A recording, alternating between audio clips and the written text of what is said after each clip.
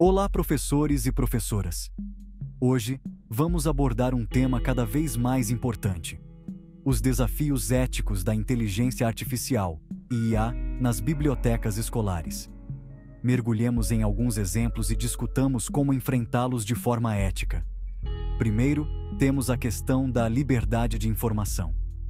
A IA agiliza a busca por recursos educativos, mas será que garantimos acesso igualitário para todos?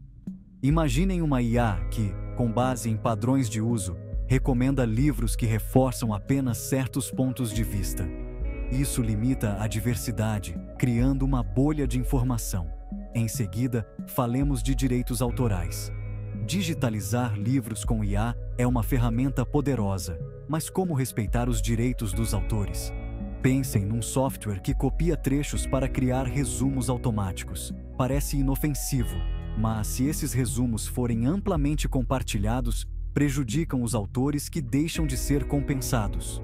Outro dilema é a privacidade. Bibliotecas podem usar IA para monitorar o comportamento dos alunos, como os livros consultados ou pesquisas realizadas. Apesar de auxiliar na personalização do ensino, isso levanta preocupações sobre vigilância e privacidade. Estarão os alunos se sentindo constantemente observados?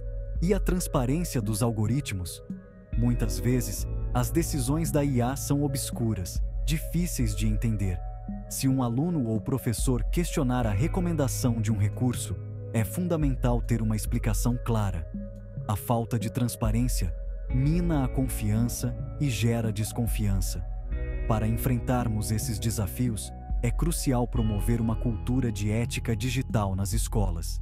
Isso significa educar os alunos sobre direitos autorais, a importância da diversidade de informação e o respeito à privacidade. Devemos também defender a transparência, exigindo que as ferramentas de IA sejam justas e explicáveis. Por fim, é fundamental envolver todos os interessados no diálogo professores, alunos, pais e desenvolvedores.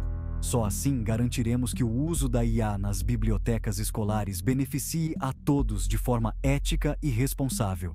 Espero que este vídeo tenha esclarecido alguns dos desafios éticos da IA nas bibliotecas escolares. Até a próxima e continuem inspirando seus alunos.